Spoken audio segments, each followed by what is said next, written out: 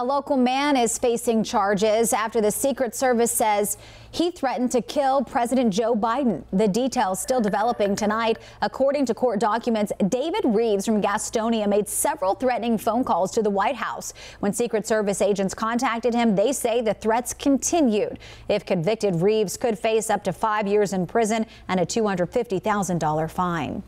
In their second and final day of arguments in the Senate impeachment trial, House Democrats wrapped up their case against former President Donald Trump.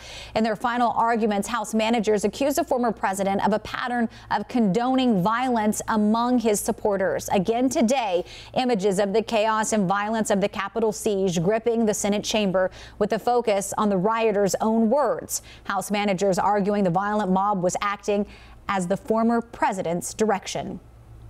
They truly believed that the whole intrusion was at the president's orders. And we know that because they said so.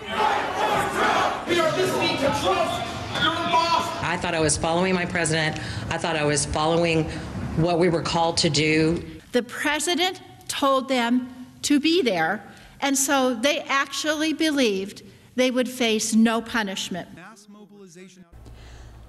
The Trump legal team begins its defense tomorrow with the core argument that the former president was exercising free speech and never explicitly called for violence.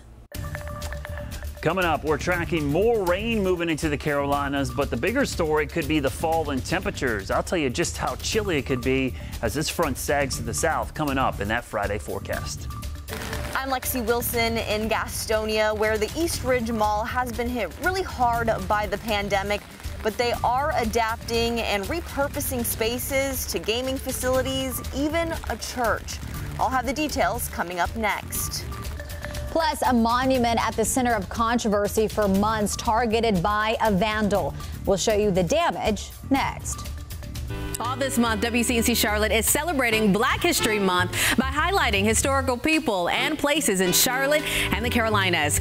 Good Samaritan Hospital was the first private hospital in the state built exclusively for the treatment of blacks. Good Sam was built in 1891. It stood between Mint and Graham and Third Ward. It was torn down in 1996 to make way for Bank of America Stadium. To learn more, go to our Black History Month page at WCNC.com or the WCNC News app.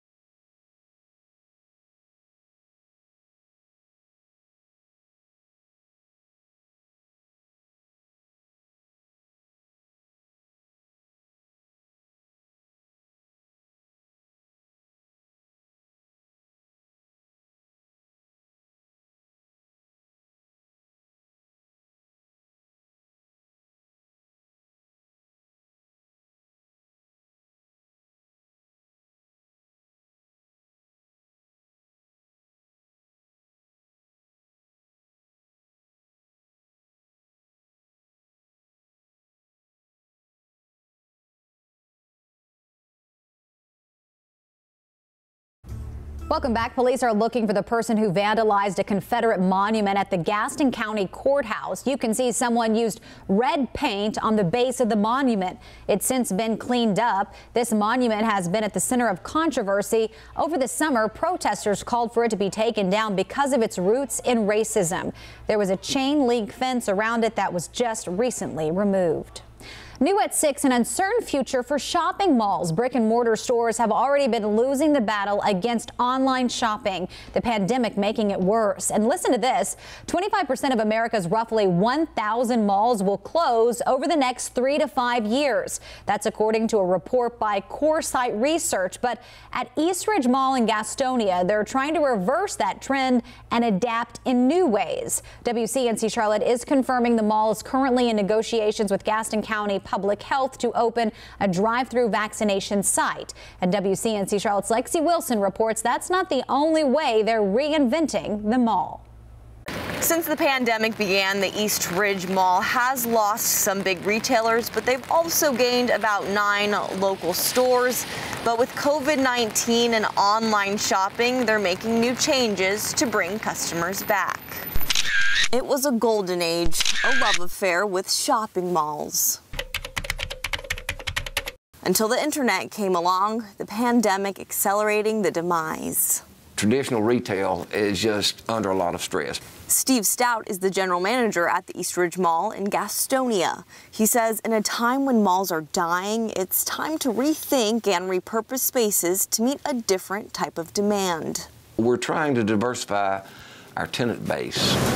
Visitors will now find a lot more than just stores here. There are gaming facilities, office space, even plans of a small church. Even though they don't occupy the space all the time, after they dismiss their uh, service, our food court tenants and our other people, uh, they're going to love it because they're going to have a, you know, a dedicated amount of people coming through the mall. Worshipping in a mall might sound strange, but it's a reality some people are already living. In Lakeland, Florida, and in Grandville, Michigan, deserted malls are now congregations. But as malls across the U.S. continue to struggle, some may see financial ruin, but Stout sees opportunity. If you cannot adapt and adjust, it's you will be repurposed, whether you like it or not. And another way the mall is adapting is by becoming a drive-through vaccination site. Today, we did confirm that the mall, as well as the health department, will work together to turn the parking lot into a vaccination clinic. We'll have more details on that as they are still unfolding. Reporting in Gastonia for WCNC Charlotte, I'm Lexi Wilson.